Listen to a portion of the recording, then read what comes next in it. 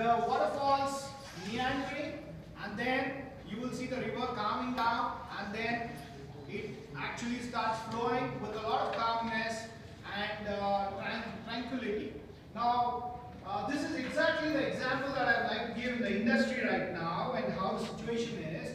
What we've seen in the last 78 years is a format of industrial revolution that started with the idea of uh, the innovation that came through the steam. So whoever was able to control the energy that was driven by the steam, the steam engine, the trains, the ships were controlling the rest of the world. So that means they had a big say on the trade.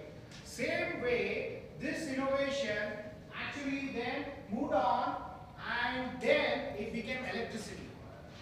So one more wave of innovation came, that was innovation of electricity and whoever had electricity in their control would control the rest of the trade and the industry.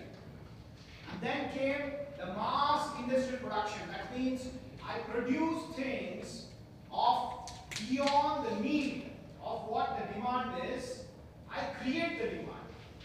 Earlier the cycle was, it was all based on how I produce matching the needs demand but now the situation came where I produce a large number and thrust it into the market and create demand.